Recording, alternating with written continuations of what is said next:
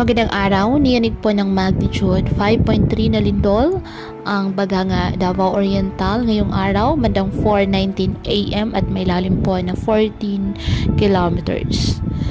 Ayon sa FIVOS, naitala po intensity 2 sa City of Bislig, Surigao del Sur, intensity 1 sa City of Tandag, Surigao del Sur, City of Cabadbaran, Agusan del Norte habang magnitude 5.1 na lindol naman yumanig bandang 5.39 AM sa Baganga, Davao Oriental at intensity 1 itala muli sa City of Bislig at Surigao del Sur.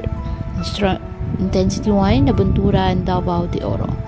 At ang nasabing lindol ay may lalim po na 4 kilometers. Patuloy pa rin po na pinapayuhan ng ating mga kababayan na maging maingat at maging handa at maging alerto sa mga posibleng panglindol or aftershocks sa ating bansa.